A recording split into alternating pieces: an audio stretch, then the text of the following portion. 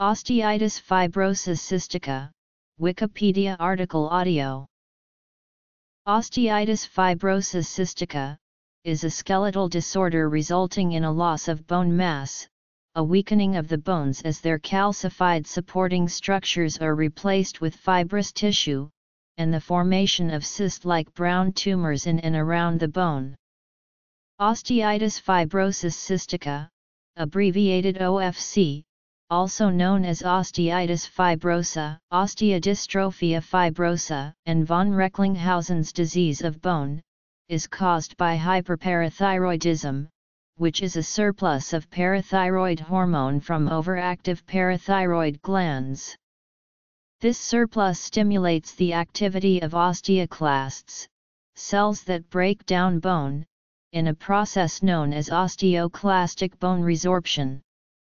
The hyperparathyroidism can be triggered by a parathyroid adenoma, hereditary factors, parathyroid carcinoma, or renal osteodystrophy.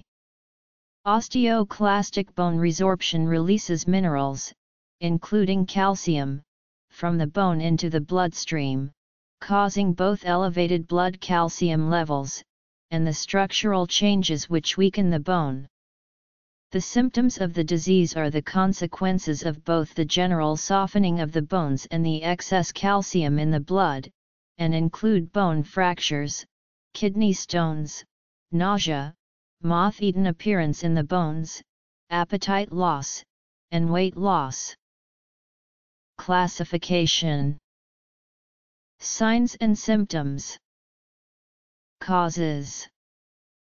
Pathophysiology Diagnosis Management Medical Surgery Prognosis Epidemiology History Bibliography First described in the 19th century, OFC is currently detected through a combination of blood testing, X-rays, and tissue sampling.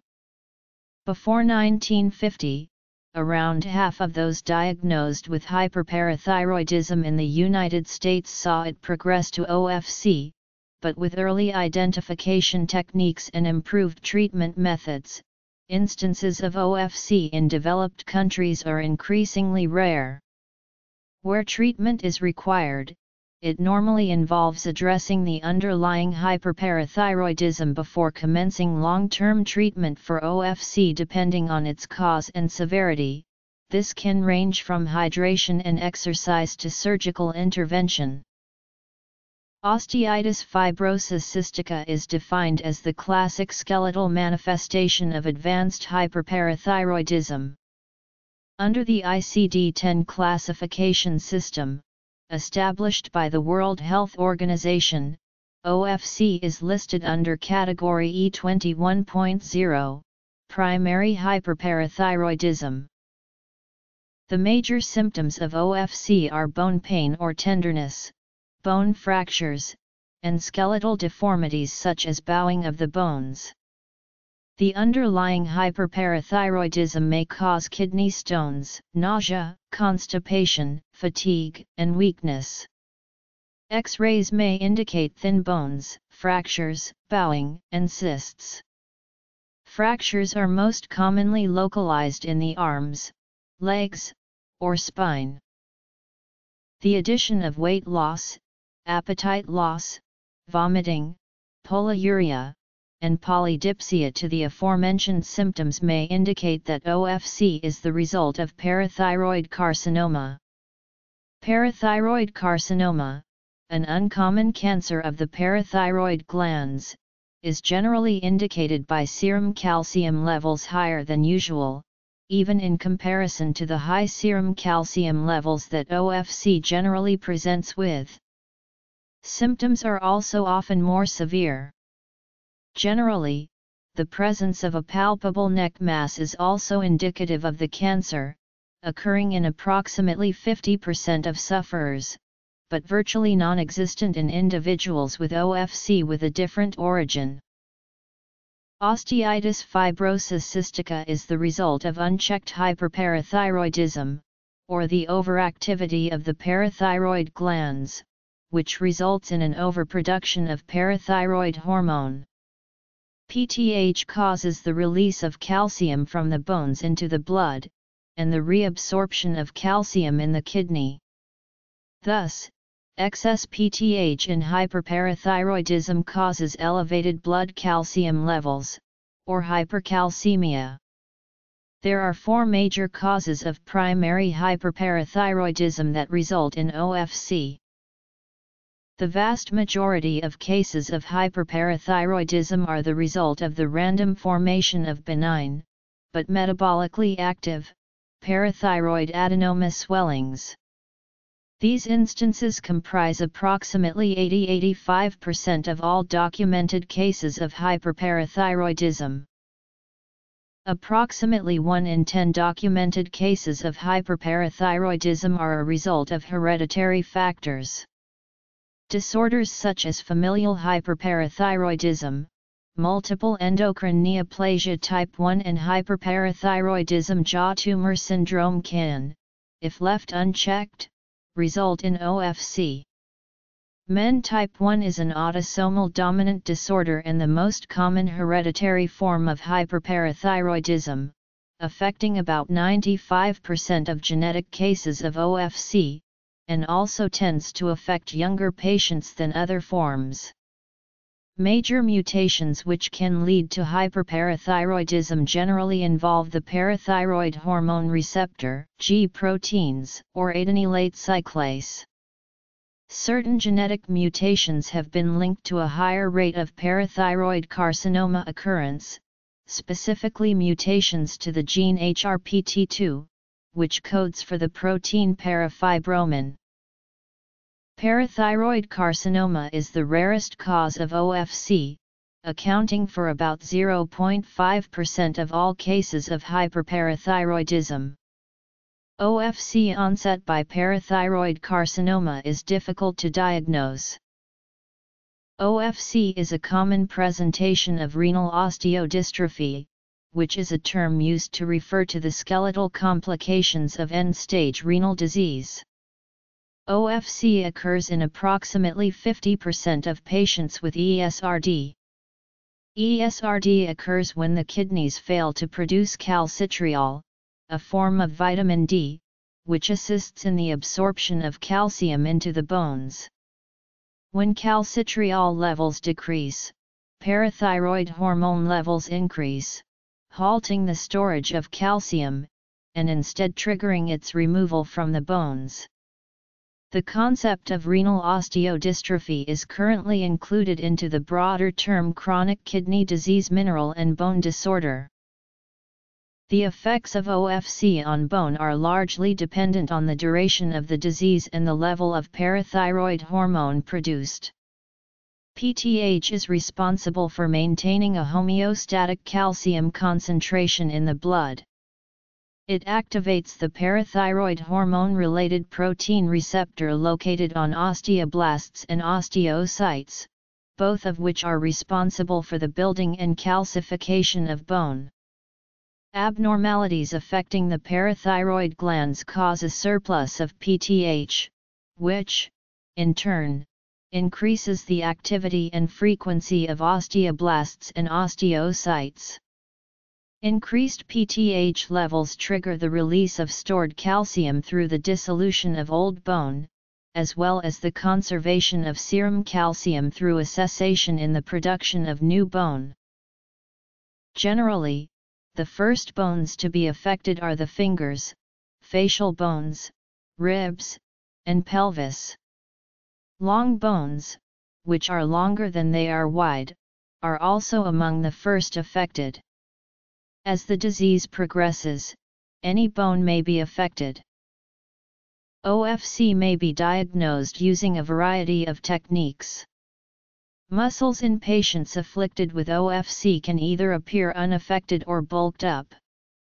If muscular symptoms appear upon the onset of hyperparathyroidism, they are generally sluggish contraction and relaxation of the muscles.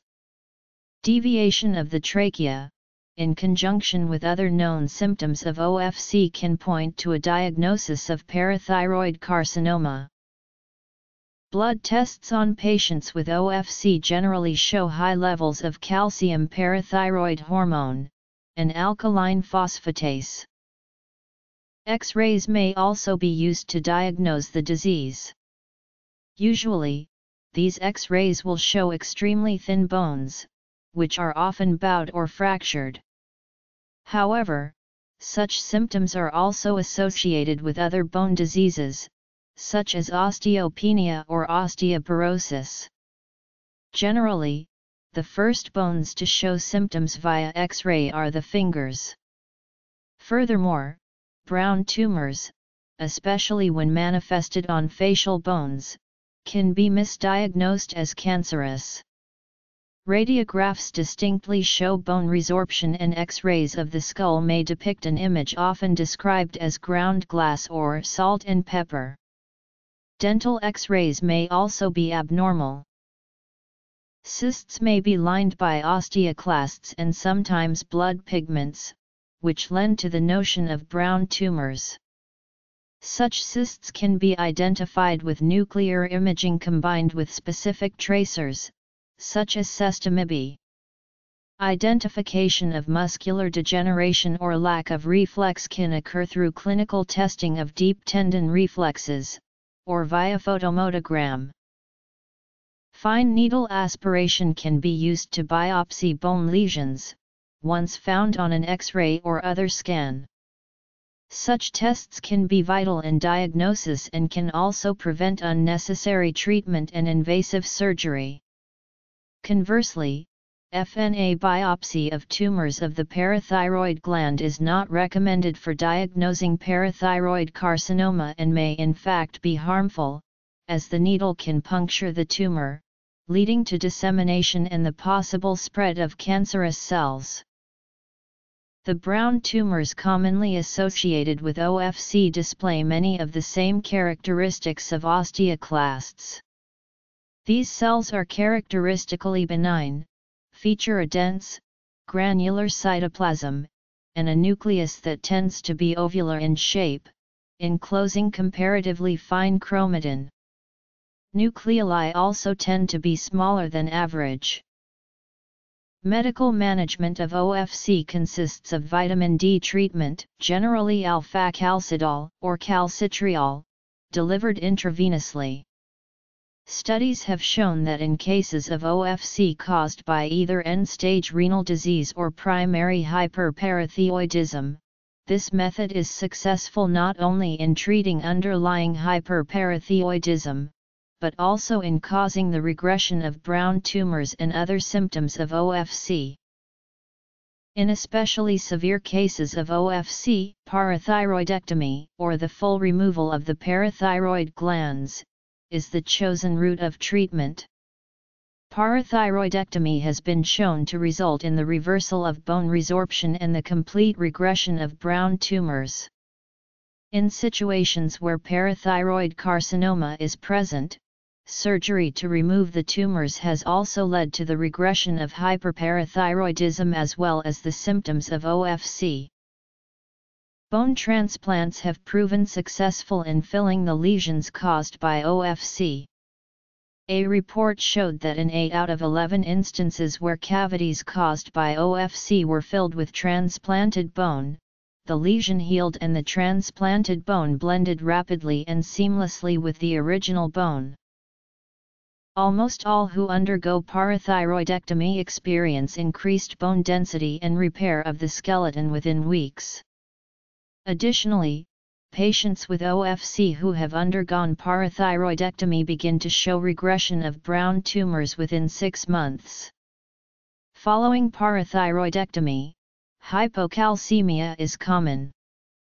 This results from a combination of suppressed parathyroid glands due to prolonged hypercalcemia, as well as the need for calcium and phosphate in the mineralization of new bone.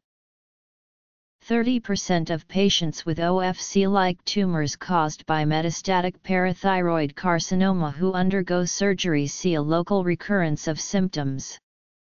The post-surgical survival rate hovers around 7 years, while patients who do not undergo surgery have a survival rate of around 5 years. Osteitis fibrosa cystica has long been a rare disease.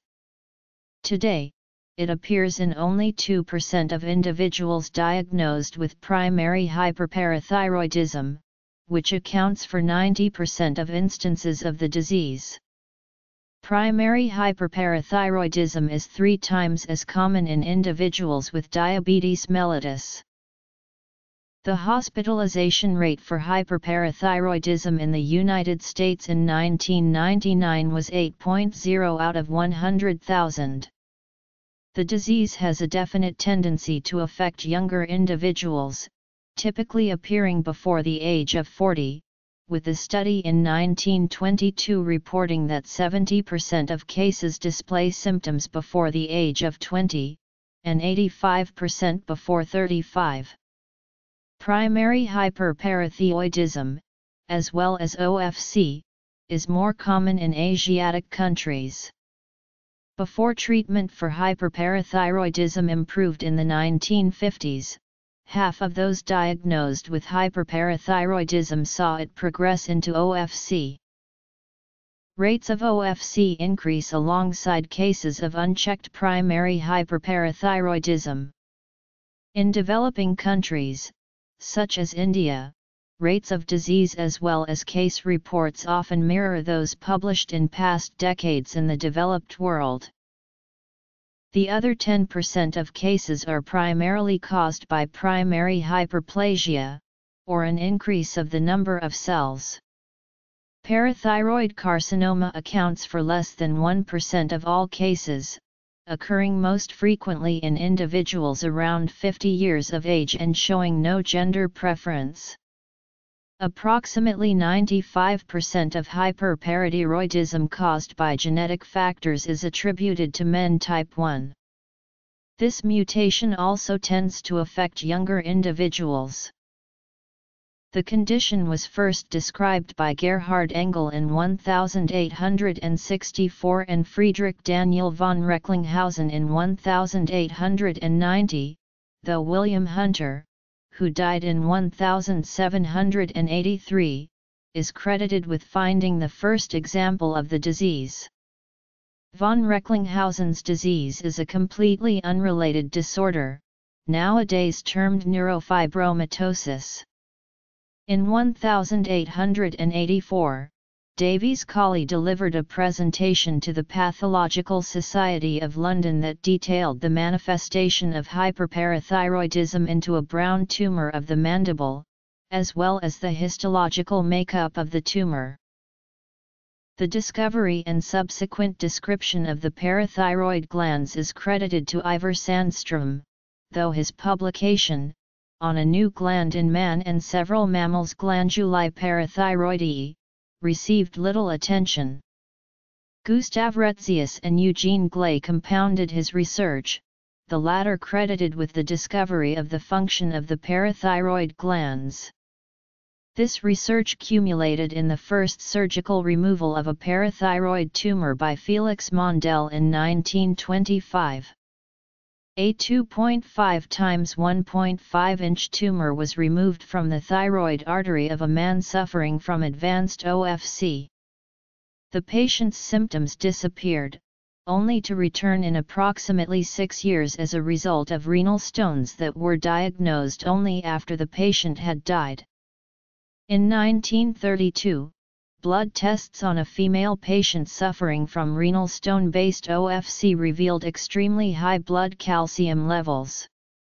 Fuller Albright diagnosed and treated the woman, who suffered from a large tumor of the neck as well as renal stones. The first published literature to describe a brown tumor was published in 1953, though clinical reports from before 1953 do draw a correlation between the disease and tumors previous to the publication. Parathyroid adenoma. Hereditary factors. Parathyroid carcinoma. Renal complications The advent of the multi-channel autoanalyzer in the 1960s and 70s led to an increase in early diagnosis of primary hyperparathyroidism. This increase led to a sharp decline in the prolonged manifestation of the disease, leading to a drop in the number of cases of OFC due to the early detection of hyperparathyroidism. Before this invention, the diagnosis of primary hyperparathyroidism was generally prolonged until the emergence of severe manifestations, such as OFC.